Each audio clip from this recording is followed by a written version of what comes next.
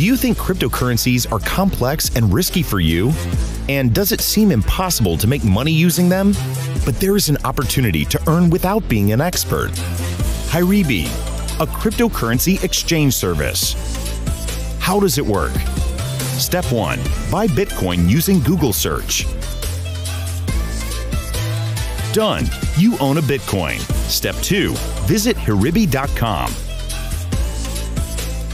Sell Bitcoin. Done. Funds are in your PayPal. Step 3. Withdraw money to your bank account, Visa, or cash. Exchange every three days and get 30% profit weekly. More exchange cycles, more profit. Visit Hyribi.com. Change and earn with us. Hyribi.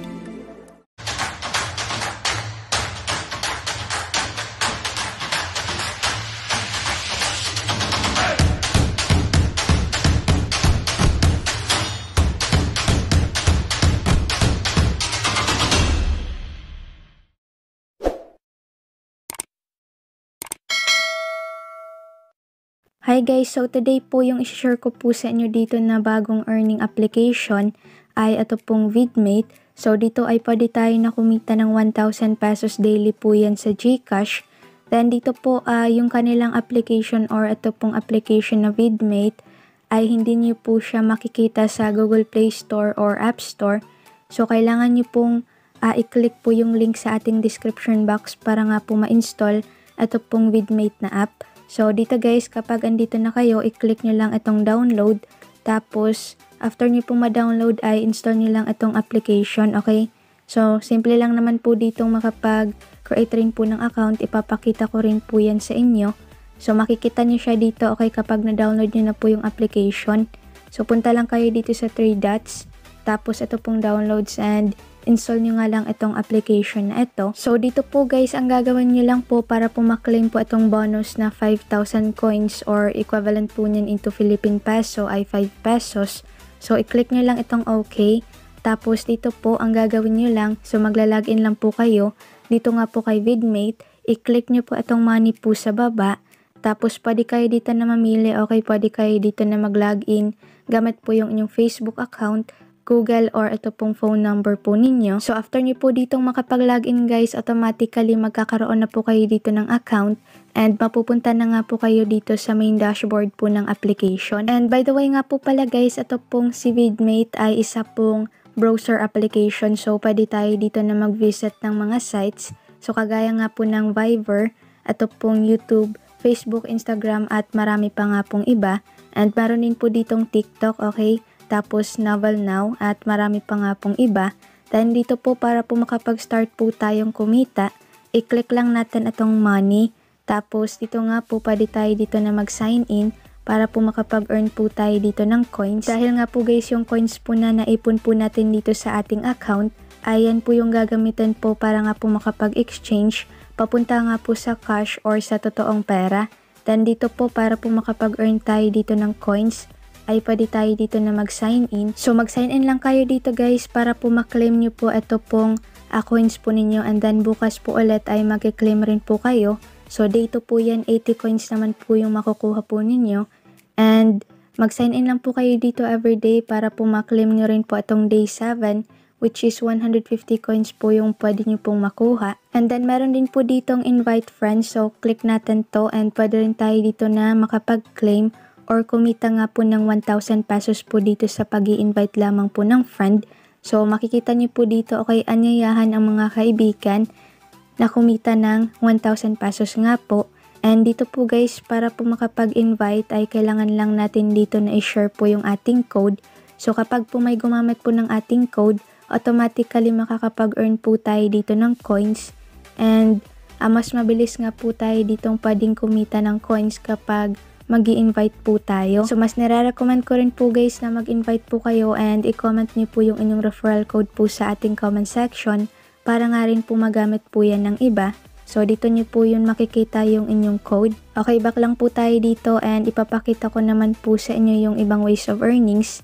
So dito naman po tayo sa enter the invitation code to help friends earn money. So pwede niyo pong i-enter po dito yung aking invitation code para rin po makakuha kayo dito ng free coin. So, i-click nyo lang itong done kapag na-enter nyo na po itong code po na ito. So, dito naman sa daily reward, okay, pwede rin tayo dito naman nood po ng videos.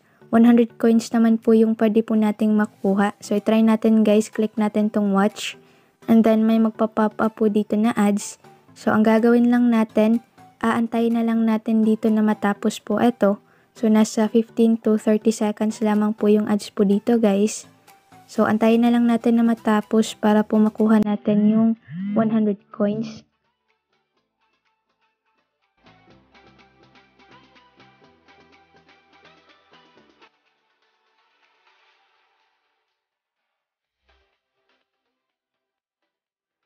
And kapag natapos na po guys, so kapag clickable na po itong X, so X nyo lang siya, then automatically, so makukuha na po natin dito yung ating coin. So get coin success, and andito na nga po yan guys sa ating balance.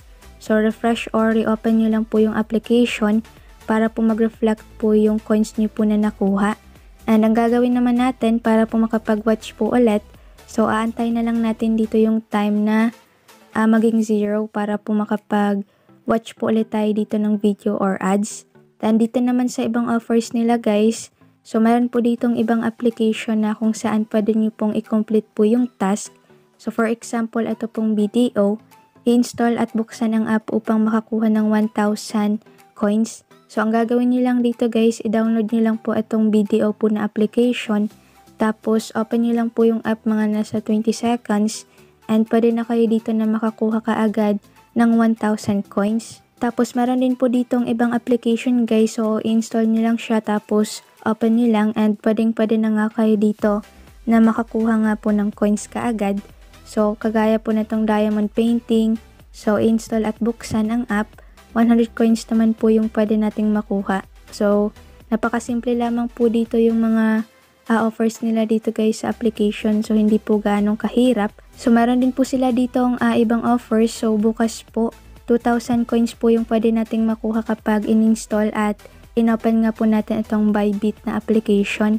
Then kagaya nga rin po dito sa Zing, 1,000 coins naman yung pwede nating makuha. So kagaya po nito guys, okay natapos po yung time dito sa ating daily sign in. Bali, ang gagawin lang natin, pwede nating i-double yung ating nakuhang coins or reward. So, click natin tong double. And then wait po ulit natin dito yung ads na matapos para po natin yung ating reward. So ito na po siya. Ayan, X lang natin and uh, reopen na lang natin dito guys yung application kapag hindi po uh, nag-reflect yung ating coins po na nakuha. So pwede nga rin kayo dito guys na mag-browse ng ibang platforms kagaya nga lang po ng Facebook. Pwedeng pwede nyo pong itry po ito. And by the way nga po pala dito po sa chest na nasa baba. So pwede nyo po itong i-click tapos, meron rin po kayo dito guys na makukuha po na reward kapag may nagpop up po na ads. So, i-wait na lang natin to nasa 30 seconds lamang po. So, ito po yung time guys. Okay, wait na lang natin siya. Then, kapag uh, meron na pong X, so X na lang natin dito yung ads.